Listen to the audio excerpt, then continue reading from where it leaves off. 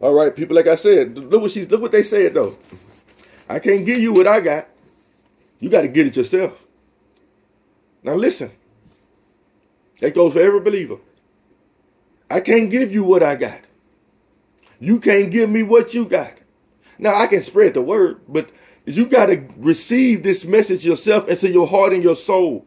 You got to believe it. You got to trust it. You got to work out your own salvation with fear and trembling. Just because your wife is going to church every Sunday, that don't mean you saved, and it really don't mean she saved. Do you understand what I'm saying? You got to work out your own salvation, people.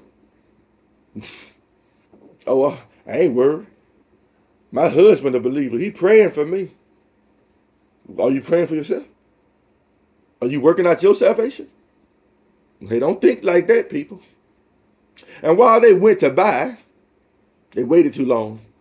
The bridegroom came, and then they were ready, went in with him to the marriage, and the door was shut. Afterward came also the other virgins, saying, Lord, Lord. So it's another verse that sounds like that. Lord, Lord, haven't we done this and that in your name? Depart from me, you workers of iniquity.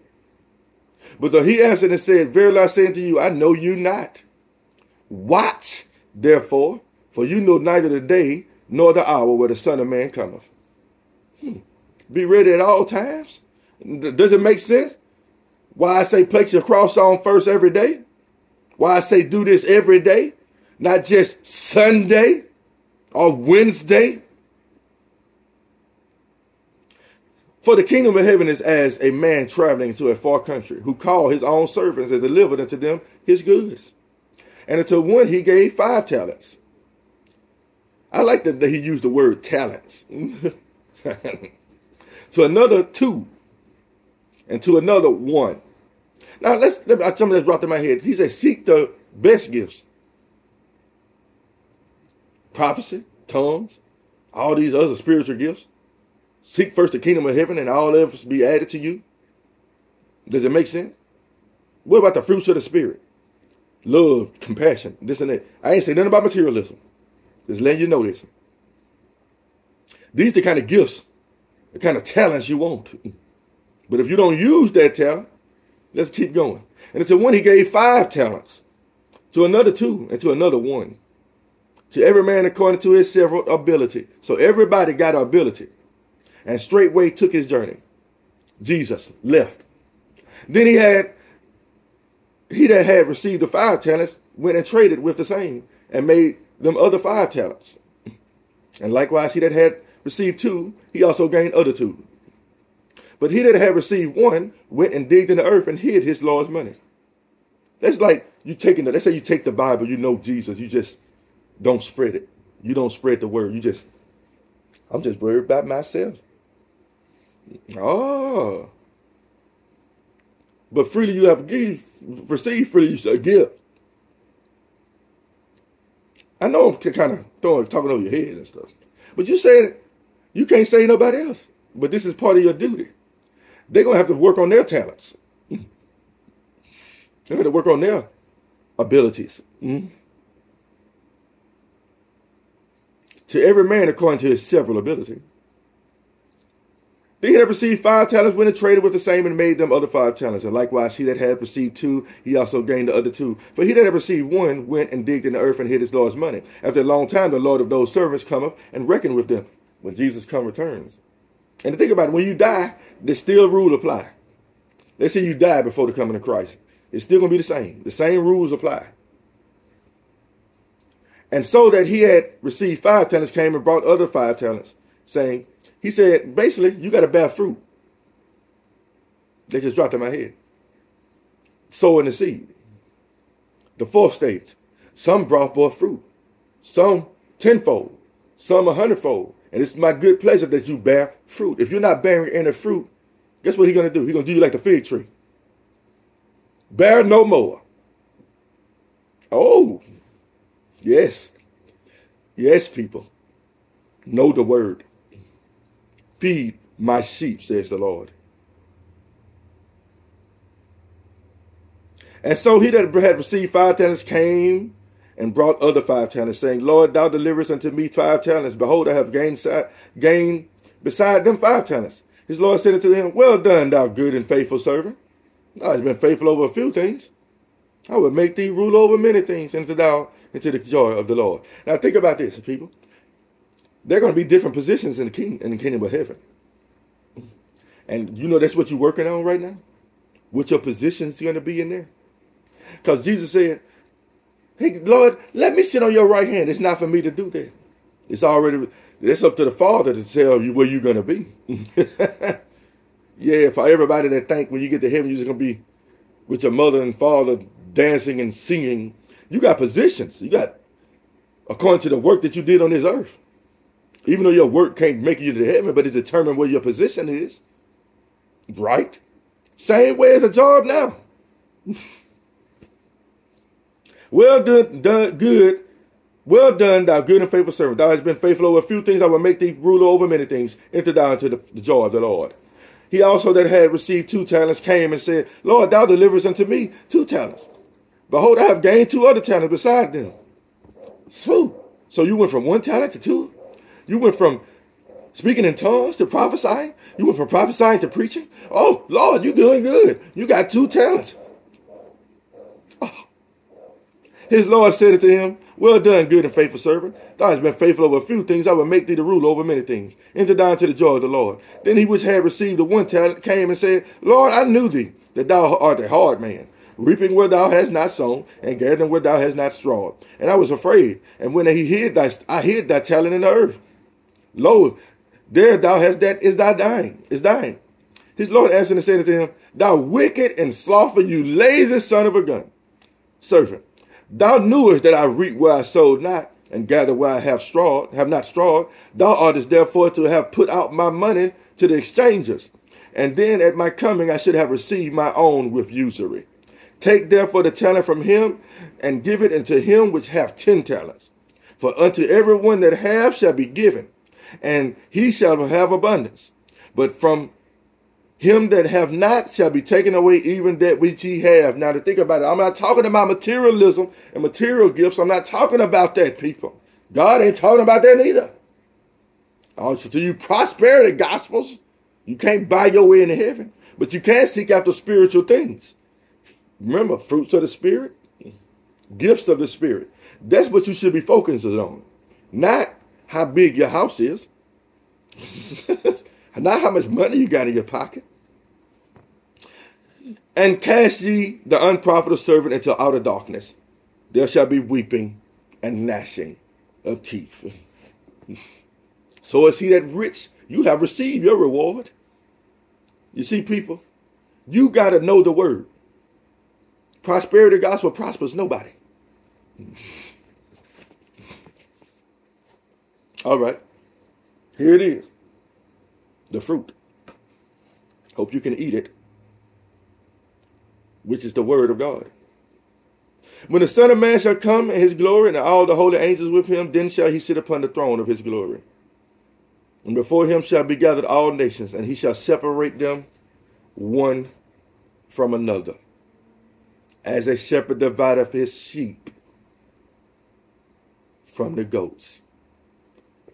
And people call themselves goats now. they must be crazy. Greatest of all times. That's what it means. Goats. What sheep stand for? Don't know. I don't know. I know it stands for a child of the Most High God. And he shall set the sheep on his right hand, but the goats on the left. Then shall the king say unto them on his right hand, Come ye, blessed of my father, inherit the kingdom prepared for you from the foundation of the world. For I was a hungered, and ye gave me meat. I was thirsty, and ye gave me drink. I was a stranger, and you took me in. Naked, and you clothed me. I was sick, and you visited me. I was in prison, and you came unto me. Then shall the righteous answer him, saying, Lord, when saw we thee a hungered, and fed thee, or thirsty, and gave thee drink? When saw ye we the, thee a stranger and took thee in, or naked, or clothed thee? When we saw thee sick or in prison and came unto thee? And the king shall answer and say unto them, Verily I say unto you, inasmuch as you have done it unto one of the least of these, my brethren, you have done it unto me. Remember the Bible says, be careful to entertain strangers. You may be entertaining, entertaining an angel unaware. And also the Bible says, don't touch not my anointed and do my prophets no hard harm. When you mess with God's people, you're messing with him. You know? Then says he say also unto them, on the left hand depart, depart from me, you cursed and everlasting fire, prepared for the devil and his angels. Actually, uh, prepared for you too. For I was a hunger and you gave me meat. I was a thirst and you gave me no drink. I was a stranger and you took me not in. Naked and you clothed me not. Sick and in prison and you visited me not. Then shall they also answer him, saying, Lord, when saw we thee a hungered, or a thirst, or a stranger, or naked, or sick, or in prison, and did not minister unto thee? Then shall he answer them, saying, Verily I say unto you, inasmuch as ye did it not to one of the least of these, you did it not to me. And these shall go away into everlasting punishment, but the righteousness into eternal life. Now, God gave us a lot of instructions. Now, if you want to, there are other other scriptures on the sheep and the goats, and there's scripture on how to treat people. I ain't giving that drunk. You need to get you some money. You broke ass. Yeah, that's how y'all be talking. you need to get you a job, you low down, dirty scoundrel. You all you gonna do it by crack. how you gonna? I ain't giving you no money for no food. You hypocrites. Mm. Oh, I'm just gonna work with the people in the church house. I ain't gonna worry about the people in the streets. Because this is my family here. God said, Who is your neighbor? He the, the man willing to justify himself. Well, who is my neighbor? There was a Samaritan. Thieves came upon him. And they stripped him and they left him for dead. And a Levite came by. And the Levite walked around the other side of the street. Then uh, a, another man uh, came by, a Jew or something, I can't remember. Came by, he walked on the other side of the street. But a Samaritan came by. And he saw the man. And he took him to a hotel. And he paid for it. And he said, hey, if he owe anything by the time I come back, I will pay for you. Who was neighbor to him? come on, people. I tell y'all all the time. God tells y'all all the time because I work for him. How to treat people. Show no respect to persons. You looking at these people like they pieces of trash. You don't know what been through them. Look at he said. Thieves came upon them, but you just saw them on the ground. Think about the biggest thief in the world, the devil. He didn't rob them and beat them and beat them down to the ground. And you finna beat them down some more. Now, I ain't saying you got to give every time you see somebody. Because I'm going to tell you something. It's easy to give. But eventually you got to speak to these people too. They say you go to the grocery store, you go to the same service station, the same person there every time. Begging, begging, begging. Eventually you got to pull a number like Peter did. Silver and gold I have none. But since I have do, do have, I give to you. Let me pray for you. Lord, please pray that they get off their feet and get a job and be able to take care of themselves, Lord. Do you understand? Mm-hmm. Giving a dollar here and there does assist people. But prayer of a righteous man or woman availeth much. But you can do both. Do you understand, people? But God will tell you discernment because you, I, I pass by a lot of people homeless, and all the time I'll be like, Lord, and I'd be like, I'd be in a hurry, not in a hurry, I'd be on my way somewhere. I'd be like, sometimes in a hurry, I'm like, Lord Jesus, I can't do that. I'll say a quick prayer in my head for him. Or I'm like, Lord, send somebody his way. You know, it's it's it works both ways. You got to be both. You got to be able to give spiritually and physically to people. Both. Because you can't buy your heaven. Because a lot of people who don't believe in God help the poor. So we know just giving money to the poor or get giving donations to different organizations like Taylor Swift don't guarantee you a seat in heaven. You got to have Jesus because there's nothing without Jesus. You don't even know why you're doing it because you're honoring yourself. I give to charities. Oprah. But you denounce God, Jesus Christ. All that giving, thank you. But what the Bible said, the wealth of the wicked is stored up for the just. Thank you. All things work together for those who believe and love God. Thank you for your wicked money. Mm-hmm. but you still gonna go to hell if you don't give your life over to Christ because you can't buy your way into heaven. So you need the spirit. You need to be operating in the spirit. You need to be realizing why you're doing these. And you got to do it out of a good heart. Not expecting to receive anything in return. God gives us so many examples of how to walk and talk and be and do. A lot of people just don't listen because they don't read the word.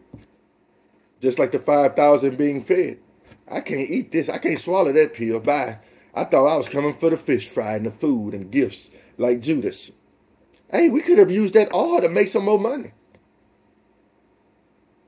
Jesus probably like, boy, Judas, when are you gonna? Oh, you ain't gonna get it. Judas, Judas. He got so fed up with Judas. Whatever you're gonna do, do it now, man. And Satan entered into him. that demon that been in and out of him. And think about it. A demon sitting right next to Jesus. You think because you're a Christian that demons can't sit next to you? That the devil can't be next to you? Read the Bible. you think just because that's a church that there's no demons in there? Something wrong with you. You better read the Bible. Judas was a devil. He said, when are you a devil? So the devil was hanging with Jesus the whole time. That snake. Yet, Jesus never sinned. It didn't bother him. You're trying to get to the point where you can just stand right in front of the devil's face Whatever you're gonna do, do it then. Stop making threats to me. I already know you sold the gold. I mean, you want the gold. And go do it. Go snitch, son. You snitch, you. I'm sorry. No, I'm not. God is trying to strengthen you so you can be like Jesus. You can walk through devils and demons and not be hurt and not sin. Now, does it make sense, Houston? I mean, y'all, I tell you, I go up there and visit my kids sometimes. Their mother is still a witch, mm. but I'm still a Christian. How does that work? When you're converted, strengthen a brother. Feed my sheep, said Peter. I mean, God to Peter. You're going to be able to tread upon serpents.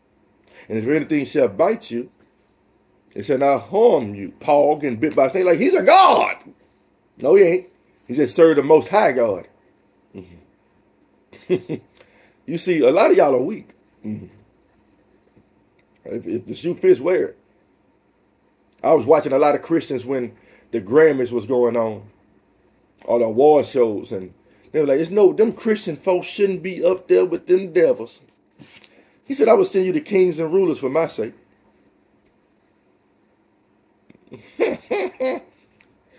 what you think I'm supposed to do? Just stay. If God exalts you, think about Peter went from dealing with the Gentiles and the lower class that's all the way to talking to Caesar and everybody else. While the, the major demons and devils are. the rulers and powers of this world in high places. The thing is, don't be taken over by these high places like T.D. Jakes. Don't be taken over by these high places like Kirk Franklin. Don't be taken over by these high places like Joel Osteen, Kanye West. The list goes on. I can name you a bunch of them. Mm-hmm. Houston, you're judging. No, I'm paying attention. Because you said watch. If God gives you the ability to move up, guess what? You move up and not be like them. Pharisees and scribes. He started from don't be like them. Don't be up there like you're this. Like you're just the best thing in the world. But if God is lifting you up to be able to be in a position to reach the higher ups, look how strong you're getting. But just don't get weak when you get there. Some of y'all have meant to go before kings and rulers. And the kings and rulers of this world is Hollywood, music industry, politics. So why wouldn't God lift you up or me up to be in a position when I can reach the Drakes, where I can reach the Snoop Doggs? I'm a musician. I'm talking for myself now. I can reach the Will Smiths and Jezebel's Pinkett Smiths, the Kim Kardashians. But he said, keep not company with them.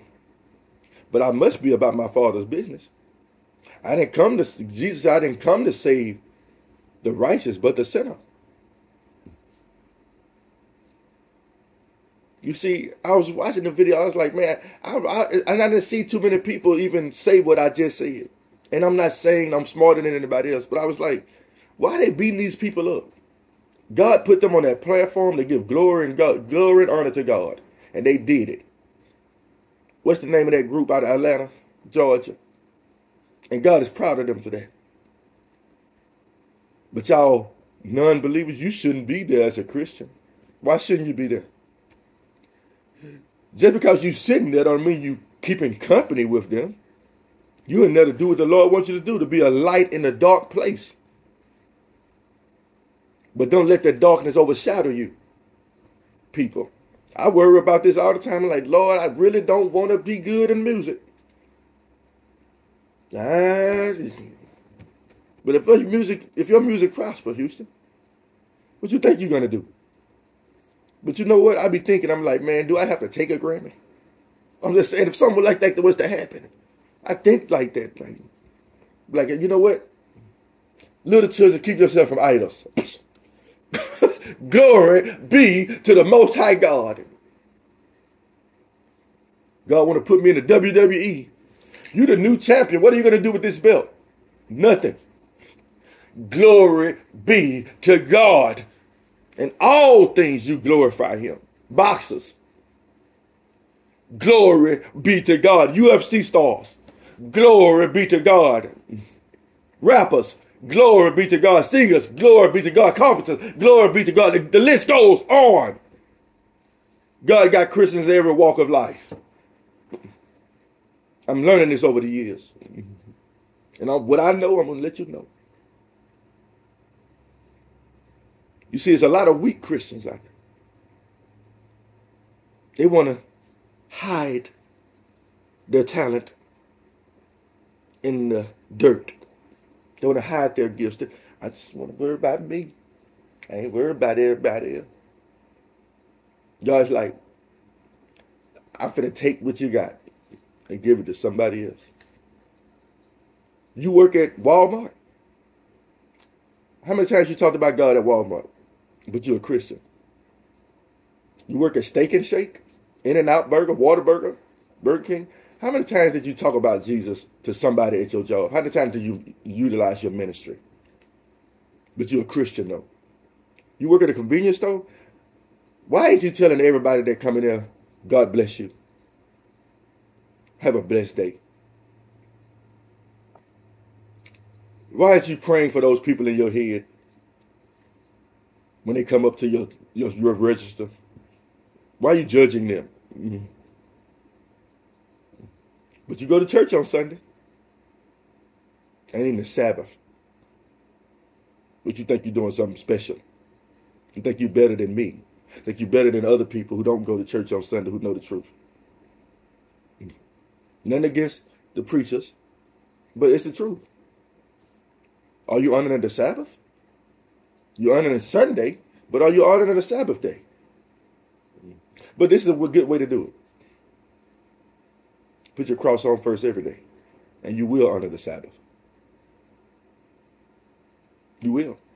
If you if you live for God every day, you will honor the Sabbath. You know that, right? so whether you go to church on Sunday night, is but are you honoring the Sabbath? Are you honoring every day of the week? But are you earning the Sabbath? He made the Sabbath. Are you earning the Sabbath? Yes. Oh, I don't work. I don't do nothing. But what if your brother called you and say he needs some help on the Sabbath day? What you gonna do? Man, it's my Sabbath day. I can't do no work on the Sabbath. If one of your sheep fell in a ditch, but you're not on the Sabbath day, go get it. You see, you got to know how the word works. You shouldn't be chasing after money and riches on the Sabbath.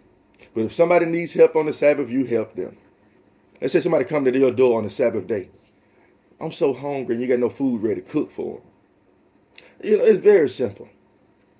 How to line up with God's words and God's commandments because God is a great God.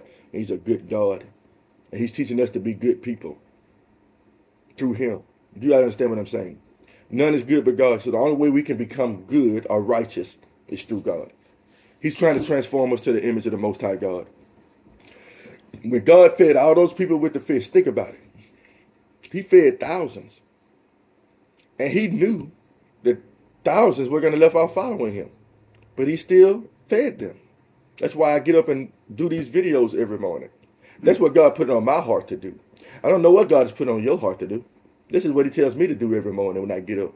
I got a gym and I'm like, Lord, I want to start working out. And then uh, I start getting up at 5 o'clock in the morning. Like, yeah, I'm to work you out all right. Read this word. Ex- bodily exercise profited little, says the Lord. But I get up at 5 o'clock in the morning. I used to get up at 6. God has got me waking up at 5. And I get up at 5 now, and I, I still go straight to that word.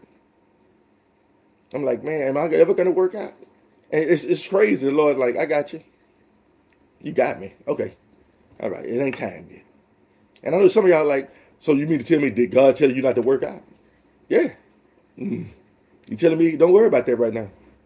You know, I ain't touched that gym in about months. And I done lost 20 pounds.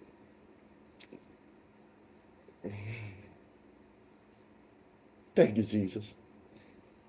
Wow, amazing. God's like, what? You've been praying to lose weight? I got you. And then after you lose the weight, I'm to put you in that gym. Because I'm preparing you for something. Now, you is different. He said, I will give you the desires of your heart. My desire is one day to have a six pack.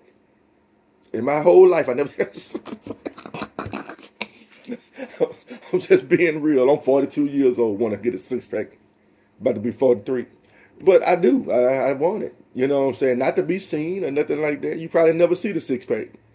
You probably never see the muscles because God ain't telling me to show my body off. Mm, you'll never see it.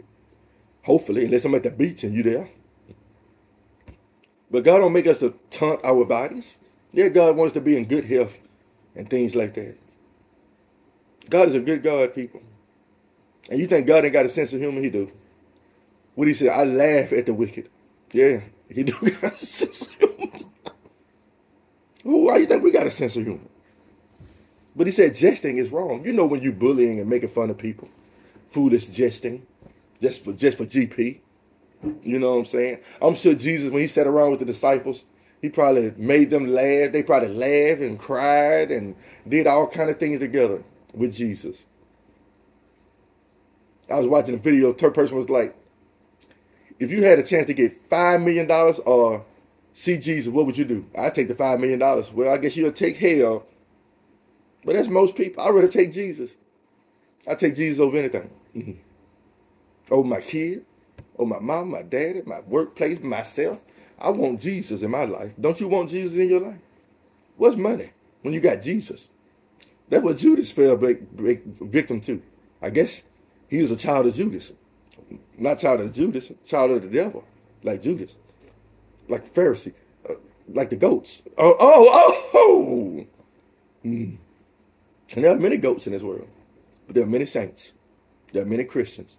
There are many Israelites. There are many Jews. There are many Gentiles. There are many colors. There are many ethnicities. There are many languages. One body. How are we one body? Because the Holy Spirit dwells in us. And we're going to become a one accord. And if the Holy Spirit is not dwelling in them, you're not going to be a one accord with them. But you will be a one accord with other believers. And sometimes it's not going to be the people in your family who you want them to be. They're going to be people who God wants it to be. You know, I'm going to tell y'all something right now, and I'm in with that. We need to start praying as people for what we need. Praying for God to give us what we need. And you need to be seeking after spiritual things. Stop seeking after carnal things. PlayStations and all that will come. But you need to be seeking after, spiritual things, people. He's gonna bless you. But you got to think about it. I got like five game systems in here, and I don't even use them. And I wanted them so bad.